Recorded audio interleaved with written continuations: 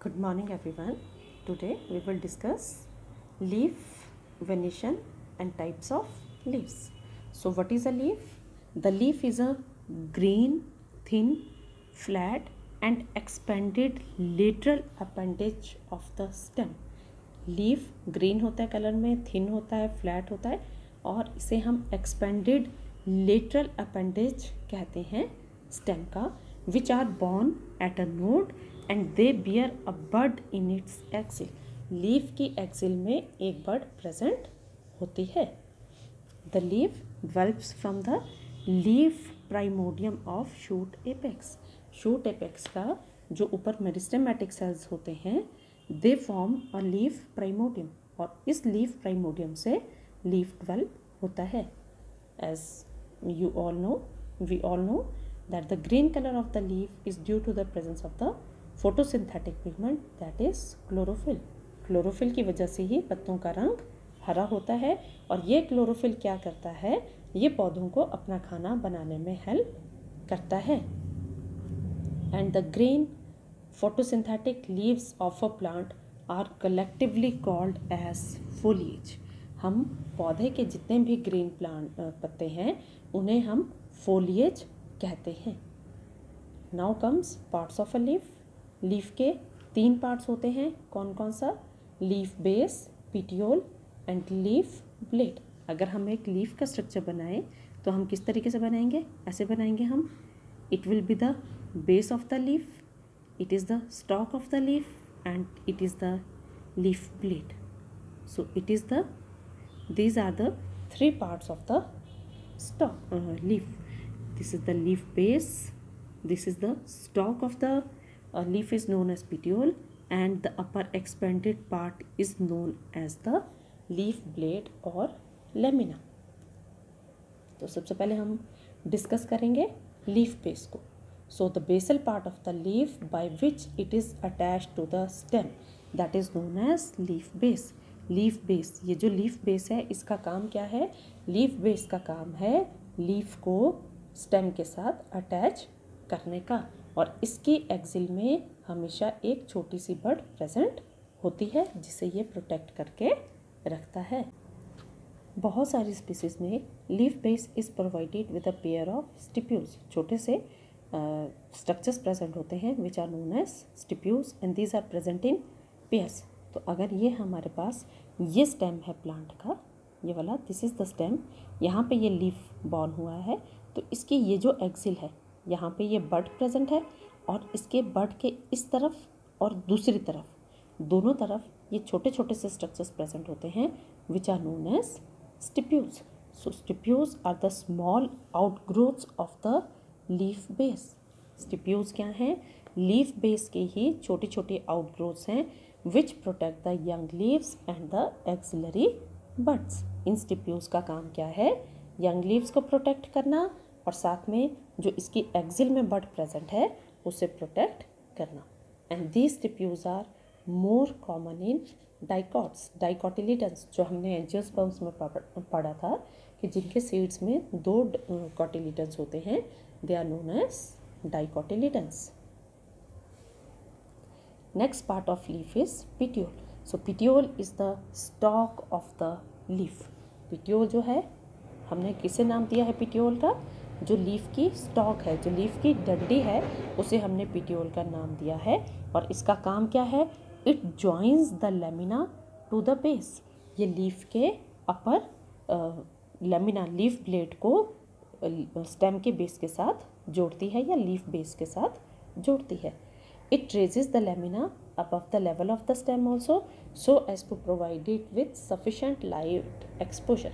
अब जितने भी प्लांट्स में, इनके पिटियो लीव्स में पिटियोज होते हैं, वो एक बात के ऊपर डिपेंड करता है, उनकी लेंथ कितनी होगी, वो इस बात पे डिपेंड करता है कि उन लीव्स को किस हाइट पे जाके सफिशेंट सनलाइट मिल रही है। अगर उन्हें छोटे स्टॉक में ही सफिशेंट सनलाइट मिल जाती है तो उनकी स्टॉक छोटी ही होगी। लेकिन अगर इनके उनके पत्ते बड़े हैं तो वो ऊपर वाले पत्ते बड़े हैं तो नीचे वाले जो लीव्स हैं, उनकी स्टॉक्स लंबी होगी, ताकि उनको ज़्यादा से ज़्यादा सनलाइट मिल सके। And the leaf with the petiole is known as petiolate leaf and the one without it the one leaf which do not have a petiole is known as sessile leaf now comes the third part of the leaf that is lamina or leaf blade so it is the upper broader thin and flattened part of the leaf which we all see so it is a flat thin expanded green part of the plant where all the functions of the leaves are carried out कौन कौन से functions होते हैं यहाँ पे it is the site of photosynthesis यहाँ पे photosynthesis होती है गैसियस एक्सचेंज गैसेस का एक्सचेंज होता है, क्योंकि यहीं पे पोर्स प्रेजेंट होते हैं which are known as stomata and stomata के थ्रू ही ट्रांसपीरेशन होती है and most of the metabolic reactions of the plants also occur in the leaf blade of leaves इसके बाद आता है कि जो लेमिना है, उसमें क्या होता है? इसमें एक प्रोमिनेंट वेन होती है सेंटर में which is known as the mid आप सबने देखा होगा, जैसे हम कोई भी लीफ का स्ट्रक्चर ड्रॉ करें, अगर हमने मान लो ये लीफ का स्ट्रक्चर ड्रॉ किया तो बीच में हम एक ये मेन वेन लगाते हैं। This main vein is the midrib this main vein is known as midrib and this veins contains the vascular tissue which act as a channel for transport of food water and minerals तो ये जो vascular tissue है, इसमें क्या क्या आता है हमारे पास? Xylem and phloem and xylem is responsible for the conduction of water and minerals and phloem is responsible for the transport of food so these veins contains the vascular tissue they also act as skeleton of lamina ये जो इसमें veins present होती है इनकी वजह से leaf blade को एक प्रॉपर शेप भी मिलती है now the sides of the lamina form the margins ये बहुत इंपॉर्टेंट है, जो लीफ की साइड्स है, जैसे यहाँ पे, ये जो लीफ की साइड्स हैं they are forming the margins and the tip of the leaf forms the leaf apex इसकी टिप बनाती है लीफ एपेक्स और इसकी साइड्स बनाती हैं मार्जिन्स अब हमारे पास दो तरह के लीव्स आते हैं। एक आते हैं डॉर्सिवेंट्रल एक आते हैं आइसोबाइलेट्रल अगर हमारे पास लीव्स का अपर सरफेस और लोअर सरफेस दोनों डिफरेंट है एक दूसरे से। Then they are called dorsiventral leaves और अगर उसके दोनों ही सरफेसेस बिल्कुल एक जैसे हैं then the leaf is known as isobilateral leaf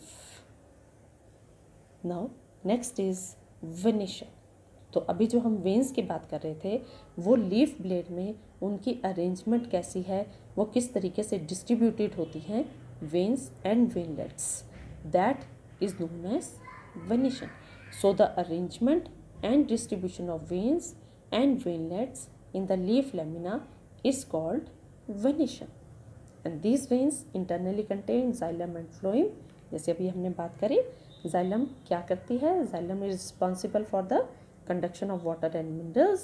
And phloem helps in the translocation of organic food. जो फ़ूड बन रहा है पौधों में पौधे के ग्रीन पार्ट्स में उसको फ्लोइम जो है वो उसके ग्रीन पार्ट से नॉन ग्रीन पार्ट्स तक लेके जाता है। Venation is of two types कौन कौन सी टाइप्स होती हैं इसकी? पहली आती है रेटिकुलेट दूसरी है पैरलर तो reticulate means network so when the veins are irregularly distributed to form a network, it is known as a reticulate venation, and it is a characteristic feature of dicots. हम किसी भी leaf को देख के बता सकते हैं कि वो प्लांट डाइकॉट है या मोनोकॉट क्योंकि उसमें वेन्स की अरेंजमेंट कैसी है, उसके अकॉर्डिंगली हम बता सकते हैं तो अगर वेन्स इरेगुलरली डिस्ट्रीब्यूटेड हैं और वो नेटवर्क बनाती हैं then that is a leaf of dicots और that plant is a dicotyledonous plant अब इसमें रेटिकुलेट वेनेशन भी फर्दर टू टाइप्स की होती है यूनिकॉस्टेट जिसमें लीफ में सिर्फ़ एक मेन मिड्रिप होती है and which extends from base to the apex and this main vein gives lateral branches to form a network या आप जब लीव्स को अब अगर आपने देखना है तो आपने उनमें ऑब्ज़र्व करना है कि कौन सी वनेशन है। तो आप देखोगे कि एक सिंगल लीफ है आपके पास उसमें एक मेन मिड्रिप है।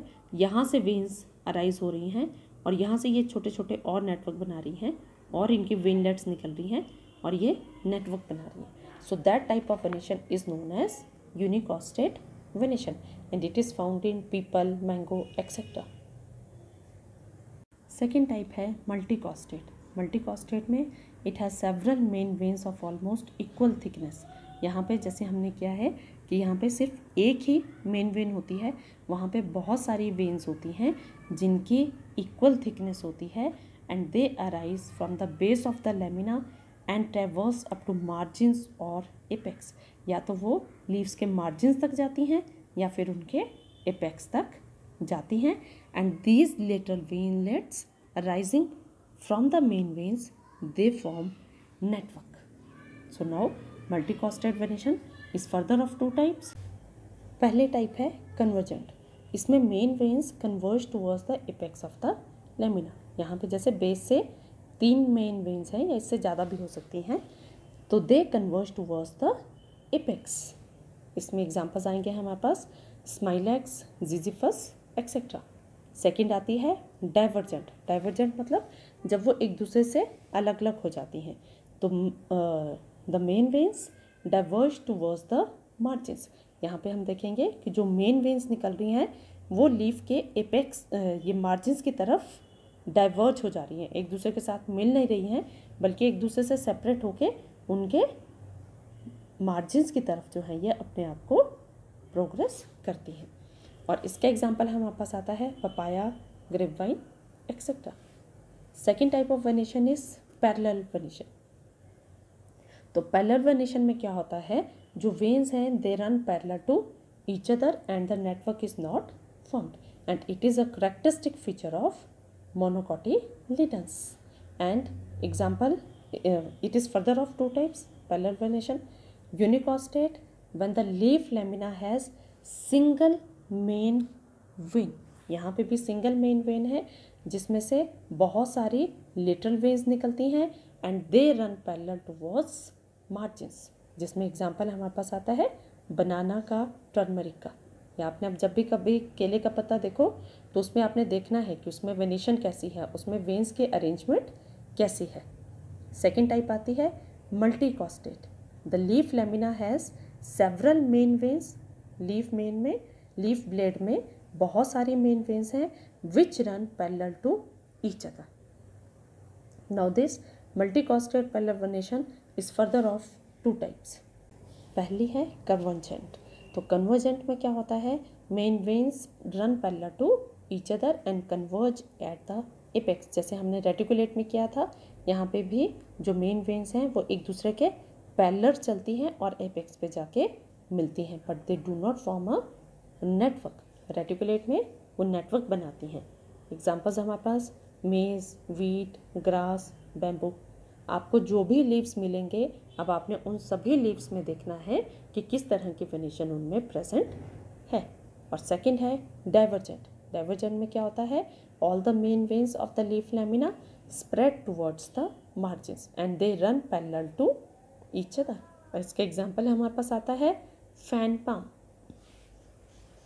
now comes the types of leaves so depending upon the incisions of lamina lamina जो लीफ ब्लेड है, उसमें अगर कट्स हैं और वो कट्स की डेप्थ कितनी है, उसके बेसिस पे हमारे पास लीव्स होते हैं। तो दो लीव्स हमारे पास प्रेजेंट होते हैं, simple leaves and compound leaves. Simple leaves में a leaf is said to be simple when its lamina is entire. Entire means it is not divided or incised to any depth but not up to the midrib or petiole अगर कोई एक leaf जिसका lamina पूरा का पूरा है, उसे हम सिंपल लीफ कहते हैं।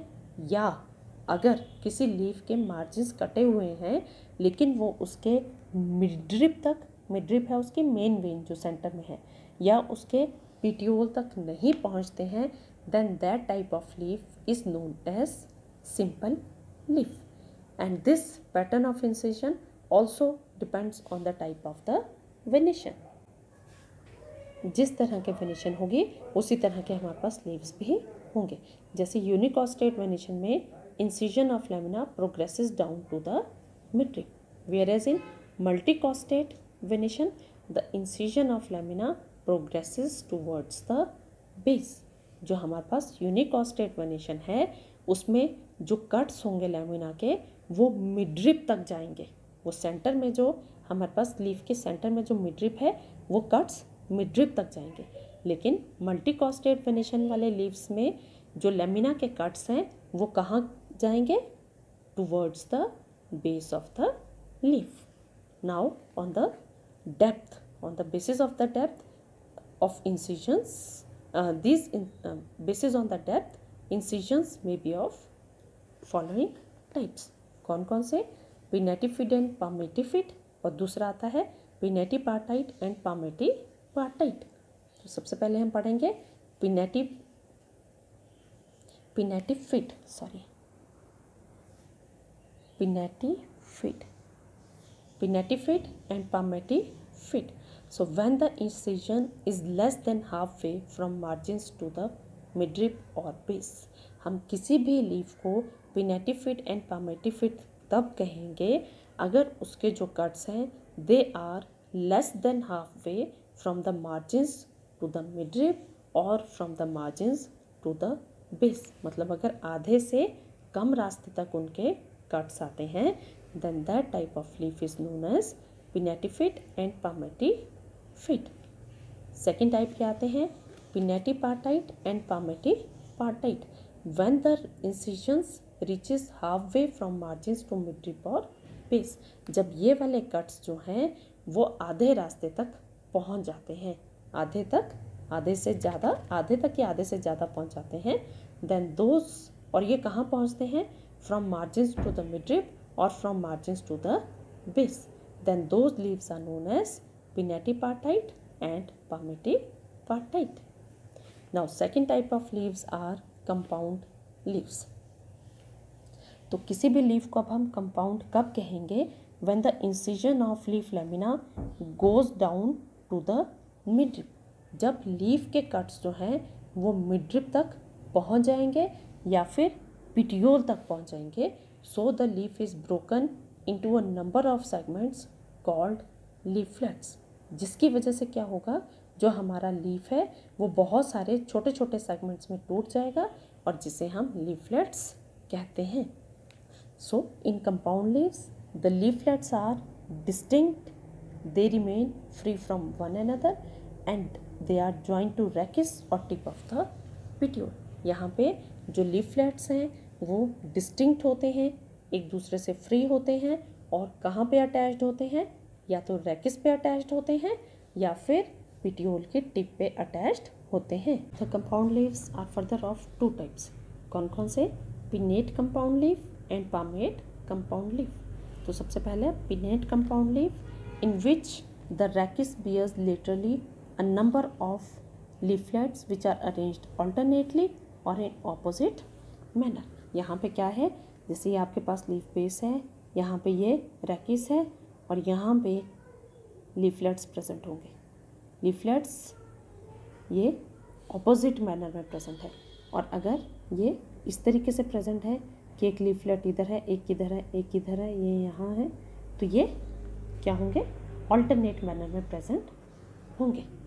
Now this pinnate compound leaves it may be of following types सबसे पहला unipinnate when the leaf lamina divides only once जब लीफ का लेमिना सिर्फ़ एक बार डिवाइड करता है एंड द लीफलेट्स लीफलेट्स कौन से होते हैं?